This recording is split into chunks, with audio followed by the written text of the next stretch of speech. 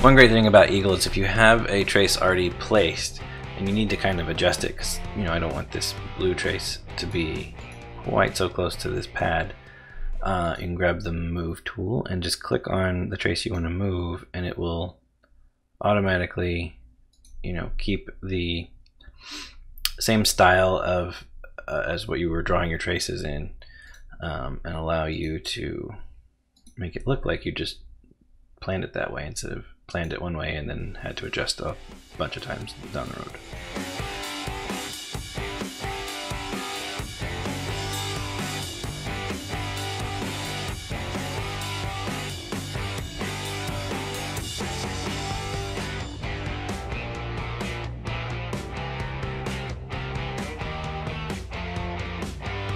Alright, so like I said, our everything is in flex. The board size is going to change a little bit from doing this, but that's okay. It's how this generally works is you play and play and tweak and tweak and then you finally have something that is right. Sometimes you just have to rip something up. I need that to go underneath this way instead of over top as I had it before. So I need to use the, that rip up tool and just delete it. Uh, then come back and just reroute it because I realized I, R5 goes to VB and there's not a great way for it to get there yet. So that is my next mission is to lay out where our second voltage reference is going to originate from and has to get to this pad.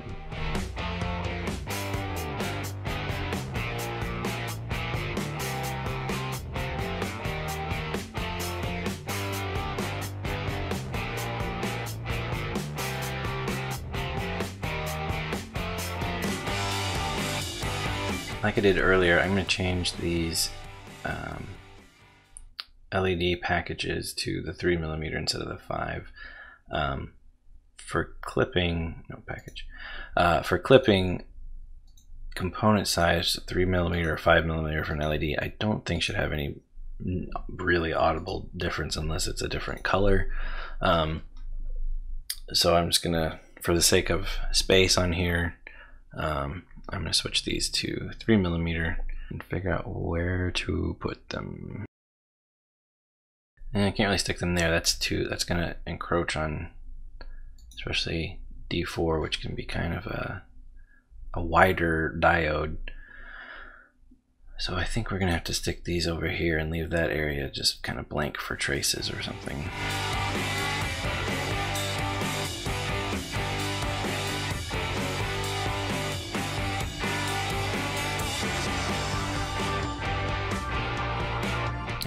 With 3mm LEDs, they're pretty small. They won't take up too much space, but I do want to give them enough space just in case you know someone is using a 5mm because they don't have any threes in their part stash or something. Um, and a way you can check that, um, you can either measure out a, a 3mm you know, length with the dimension tool, or you can add from our enclosures um, folder LED and the smaller I think yeah the smaller circle is the three millimeter shouldn't overlap on each other at all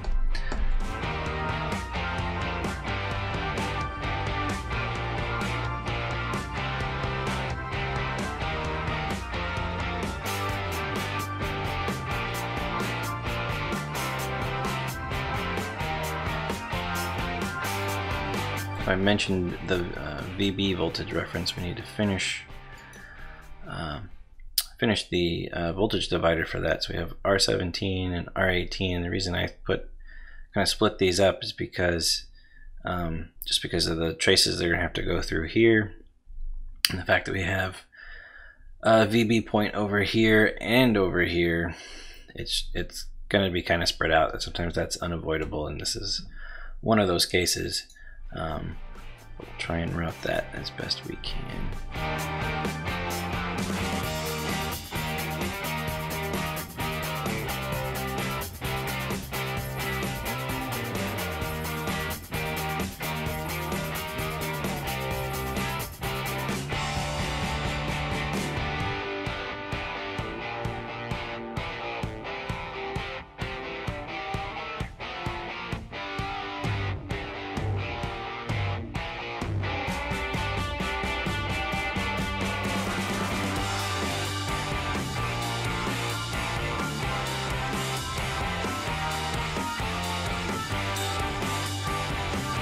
Like our like my voltage uh, reference traces, I like to have a nice fat one for the uh, uh, for input voltage before it hits the the Schottky diode for polarity protection.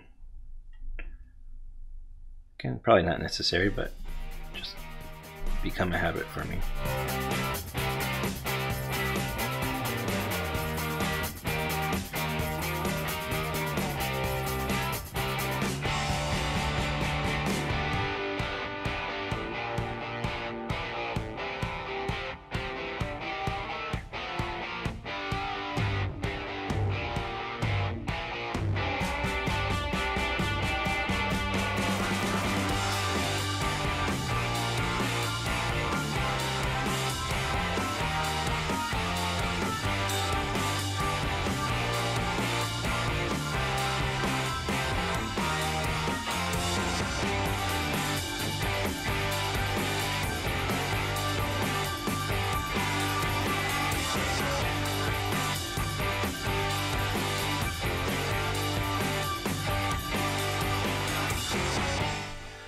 Well, crud. This this happens inevitably. Uh, you forget something, and in this case, I forgot D1, which goes way over here at the beginning. Um, and I'm going to figure out how to make that work. Hmm. Alright, so we, what we have left is uh, the main power filter cap, the current limiting resistor, and the Zener that I forgot about. Like a dummy. Um, We've got almost everything else on our board. Hmm, this needs to go somewhere else because this goes up there, not to the output. That is going to come around and go to the output. Let's go ahead and do that now while we're thinking about it. Um, I'm going to use my control right click to change. Here we go. And down to the bottom. And control click again to get back to the 45 and perfect. Since the LED is right next to the power input, an alternate way from what we've done is have power hit the LED first and then have the current limiting resistor uh, limit uh, how much it goes towards the ground connection.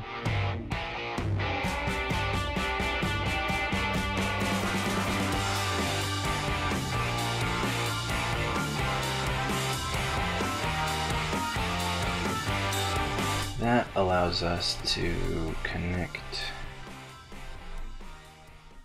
Uh, what am I doing? Oh, change the width. Uh, that allows us to connect this straight to, oh, well, that pad of the LED. Let's flip that around. Again, right click if you've selected the wrong thing and then you can, it'll select a, an alternate thing. If there's the origin point of two different parts is right on top of each other, you can right click and select a different one. There we go. Rat's nest, route.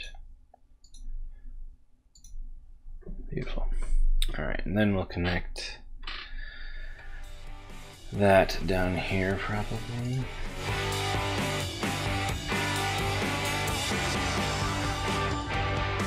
I think what I'm going to end up having to do is just make the board just a little bit bigger a little taller, like probably about a tenth of an inch.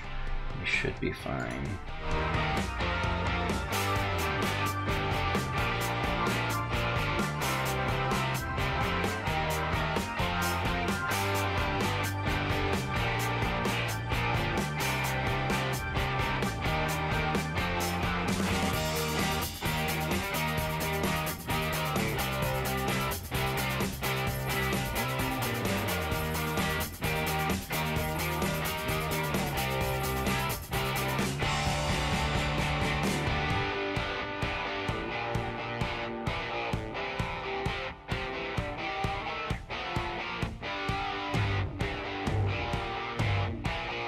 See here there's a you know this red hash line thing showing where hey you've got a a trace overlapping a a pad that is not supposed to be connected to it's just a little on-screen warning before you even do the design rule check that that is wrong. You should fix that.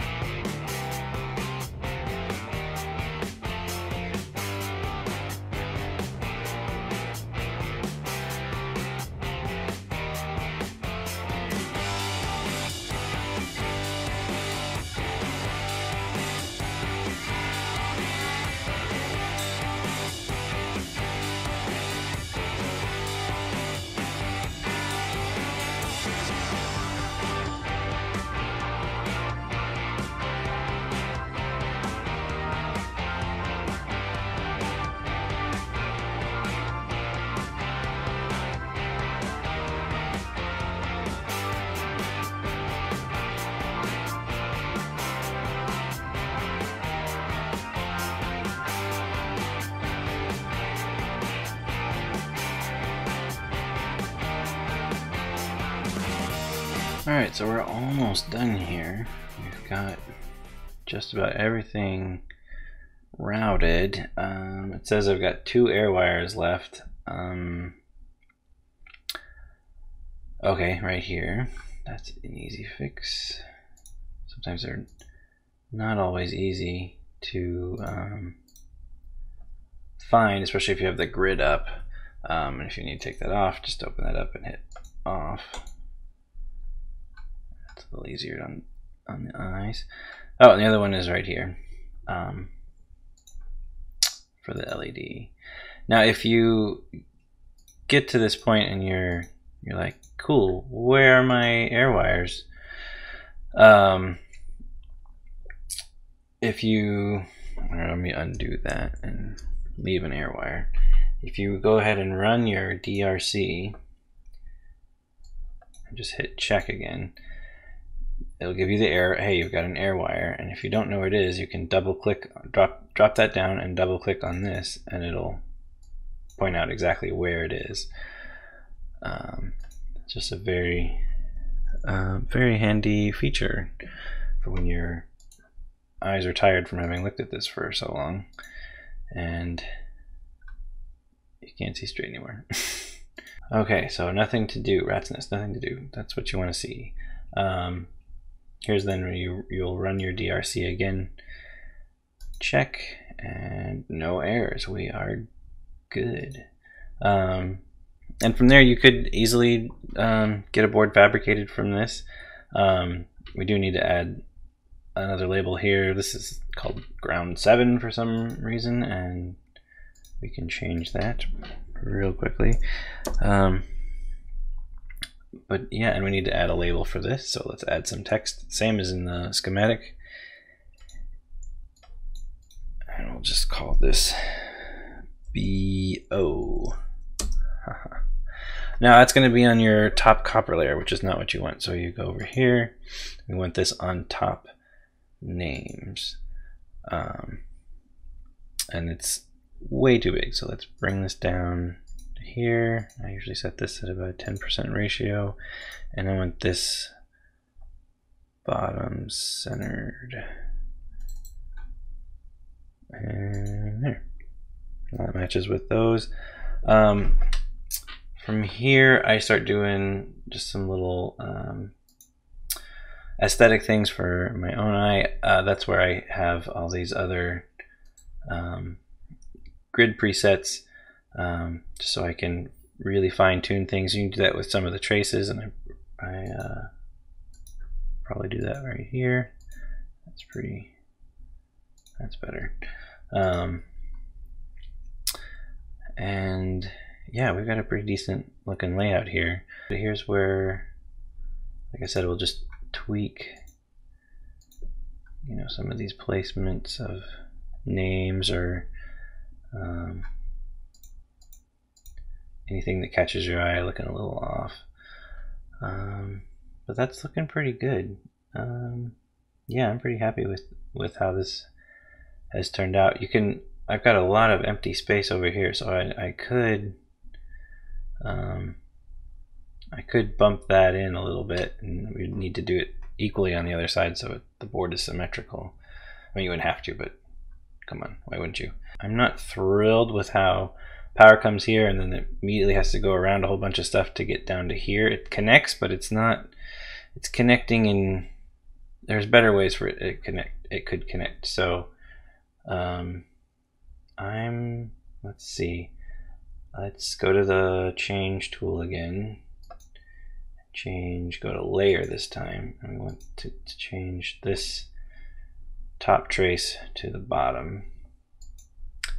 So let me just click on it. And that's a that's a via right there that popped up. That's a via. We'd like to avoid those if possible, but they're not the end of the world by any stretch of the imagination. And all right, that's still good. Nothing to do rat's nest. No, that didn't create any new air wires. Um, it still looks fine. Um, cool, very cool from here, it's just aesthetic um, things you might want to do. Like I'm going to add um, top place, a little line on the um, silk screen around the pads.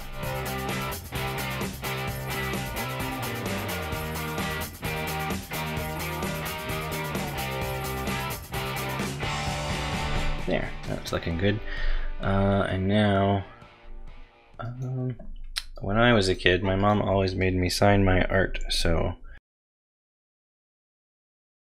well, if you have it and you thought it would, I thought it was going to fit here, but it's going to run into a pad over there. So you can hit escape and it'll open up what you had have already done, typed up anyway, and then you can oh, shift, shift enter, David. There we go.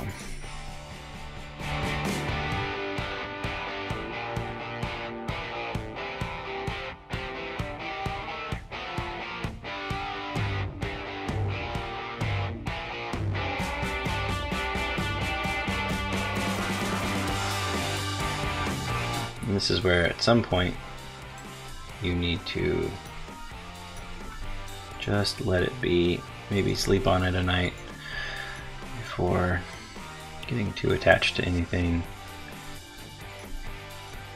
You can play with it until you're uh, you can play with it forever until and, and never actually be fully happy with it, but yeah, this is pretty good.